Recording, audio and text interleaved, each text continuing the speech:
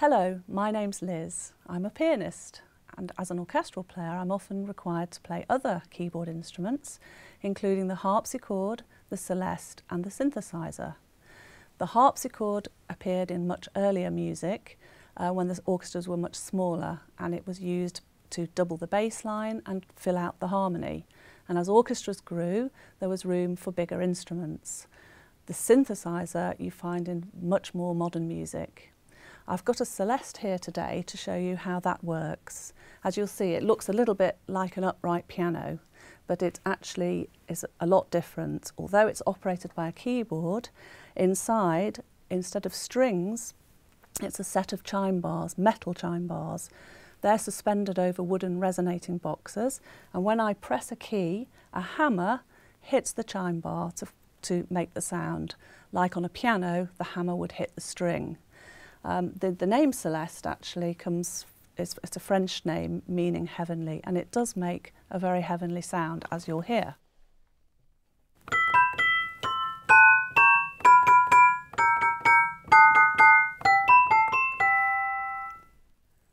You may have recognised that tune.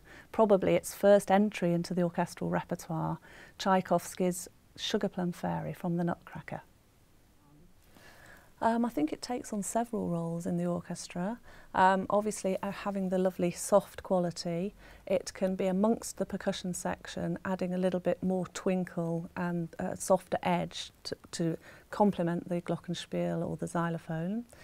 Um, it often has a solo role as well, and it, it can actually just double texture of almost any other section. I can think of examples where it doubles the woodwind and where it doubles the strings and it just adds something to the texture.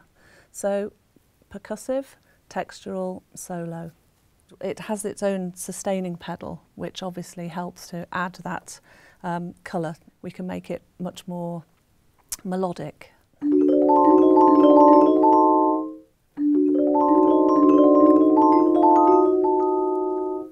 It's lovely and warm and heavenly.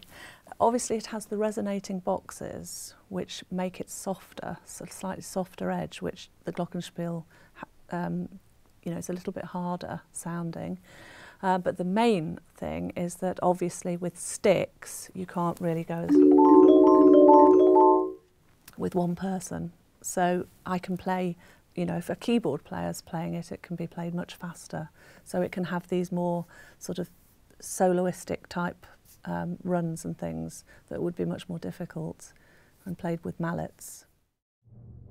If you've enjoyed learning about the instruments in the orchestra, why not try our iPad app, The Orchestra, featuring Esa-Pekka Salonen and the Philharmonia Orchestra.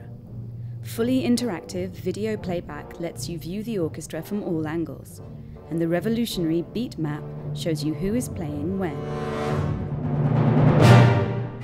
Follow along with synchronized scores. Hear the inside scoop in audio commentaries and get a 360 degree view of all the instruments. Available for download in the App Store on iTunes.